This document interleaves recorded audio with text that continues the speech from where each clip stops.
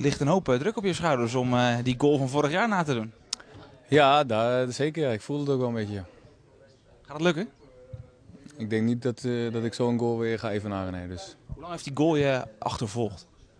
Nou, niet echt lang of zo. Het is wel dat ik... eh ik scoor niet zo heel veel, maar het is wel een goal waar ik eh, vaak aan herinnerd word. Eh, ja, veel mensen kunnen dat nog herinneren. En eh, op zich wel leuk ook. Is zo'n doelpunt extra mooi omdat het tegen een top 3 club is? Nou ja, dan, dan is hij nog wel...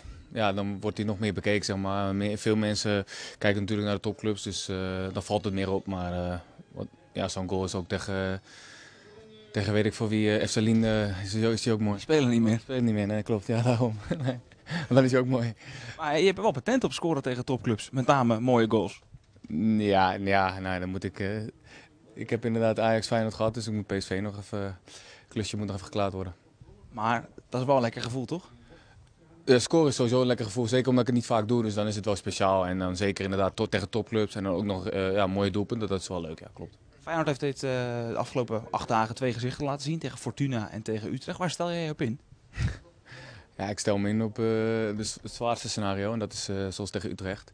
En ja, tegen Fortuna heb ik ook gedeeltelijk gezien en dat, ja, dat, is, dat zit ertussen, die wedstrijden voor Feyenoord. En eh, ik zeg, gisteren kwamen ze een stuk beter voor de dag en eh, ja, ik, wil, ik ben benieuwd hoe ze, hoe ze zondag hier komen met natuurlijk wat spelers die eh, hier en daar wat last hadden. En kunstgras. En kunstgras inderdaad, daar zijn ze ook geen fan van, bepaalde spelers. En, dus Zag jij dat die bepalende spelers ook spelen? Of ik dat verwacht? Nee, ik heb geen idee, dat, daar hou ik me niet mee bezig. Dat zien we zondag pas en daar ga ik me niet druk om maken nu. dus dat, dat zien we wel. Waar liggen de kansen tegen Feyenoord? Nou, ik denk dat, eh, dat je dat in de, in de jaren hiervoor wel hebt kunnen zien eh, waar de kansen liggen. Ik denk, eh wij hebben het hier Feyenoord altijd lastig gemaakt en dat willen we zondag weer doen. eh, door eh, ja, door toch, toch wel te laten zien dat hier eh, niks te halen valt. Dat gebeurde vaak op karakter. Dat ontbreekt de laatste weken een beetje.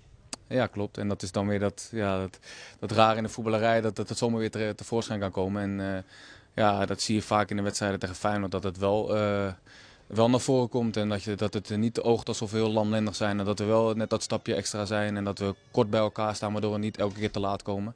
En dat oogt dan allemaal wat, eh, wat frisser. En eh, ja, ik hoop dat het zondag ook het geval is. In hoeverre bepaalt het resultaat jouw humeur aan tafel tijdens kerst? Mm, Dat is wel, eh, ja, daar hebben we het wel over gehad. Kijk, als je een goed resultaat nu haalt, dan ga je wel echt lekker de winst in. En zeker als je ziet, na vorige week is de stemming al iets eh, verbeterd. Want vorige week was het toch wel, een- wel een nou, dieptepunt. Ondanks dat je wel een punt pakt, was het gewoon heel teleurstellend.